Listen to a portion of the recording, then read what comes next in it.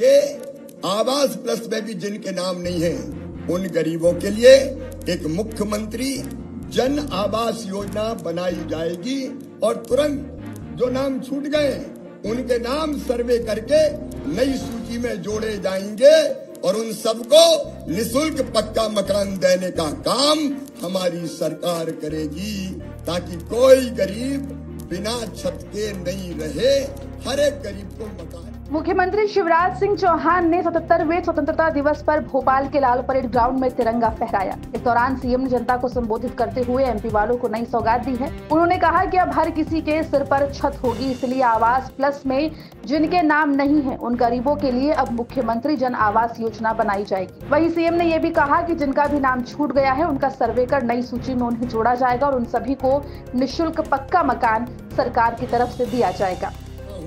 कि मध्य प्रदेश में कोई गरीब ज़मीन के बिना नहीं रहेगा, जिनके पास रहने की ज़मीन नहीं है, हम निशुल्क ज़मीन रहने की देंगे, पट्टा उपलब्ध करवाएँगे, शहरों में भी हमने माफियाओं से जो ज़मीन मुक्त कराई है, उन पर हम गरीबों के घर बना रहे हैं।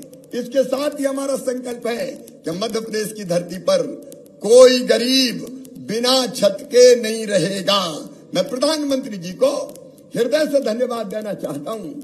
चवालीस लाख मकान गाँव और शहर में मिला के प्रधानमंत्री आवास योजना के अंतर्गत हमने बनाने का काम किया है। प्रधानमंत्री जी धन्यवाद। अभी आवास प्लस के लगभग 22 लाख मकान बनने बाकी है। लेकिन इसके बाद भी हमारे जनप्रतिनिधियों ने मुझसे कहा, हमारे एमएलए मेरे पास भी मैं जा जाता हूँ। कई गरीब आते हैं और कहते हैं, हमारे पास कच्चा मकान है। हमारा आवास प्लस में भी नाम नहीं है।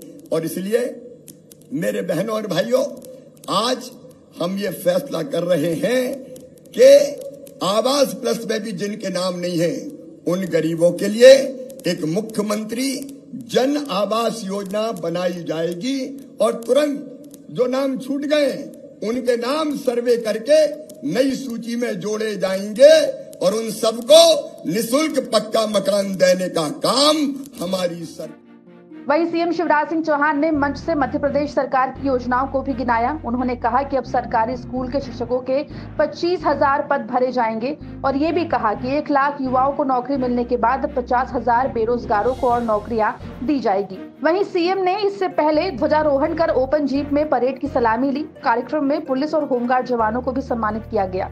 उससे पहले उन्होंने भोपाल के शौर्य स्मारक में भारत माता को पुष्प अर्पित किए और शहीदों को श्रद्धांजलि दी।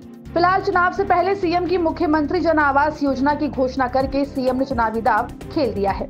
ब्यूरो रिपोर्ट एमपी तक।